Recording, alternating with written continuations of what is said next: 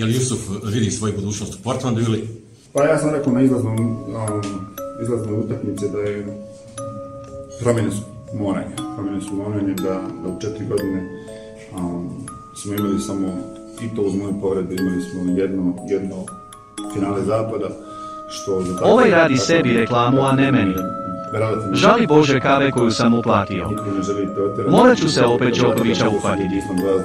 Dovest ću ga ovamo da meditiramo Da, bez ičega. Samo da ne sazna da sam Bianku Childs opeljušio. Ostavio sam ženu i sina u Americi. Zbog nepostojećih piramida. A Sabina? Ona je irelevantna. Ni pišljivo jaje ne zna skuhati.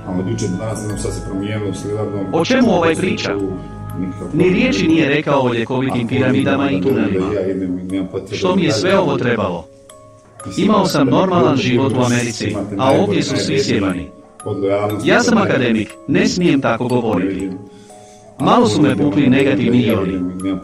Senad me je dobro sjebao sa životnom energijom. Zato ću morati meditirati s Đokovićem bez ičega. Da.